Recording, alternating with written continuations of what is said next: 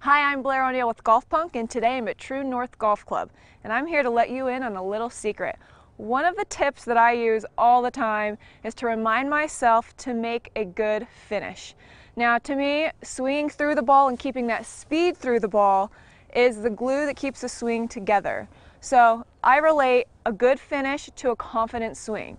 So one of the tips that you can do at home to practice making a good confident finish and keeping that speed is when you set up, take an extra tee and I'm going to put this tee or a coin or whatever you have a couple feet in front of my ball.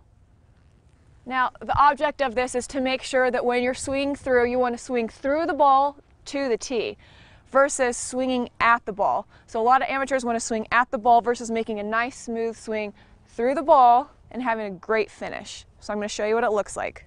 I've got my tee right here. I'm going to set up I'm going to make a nice smooth swing through the ball to that tee.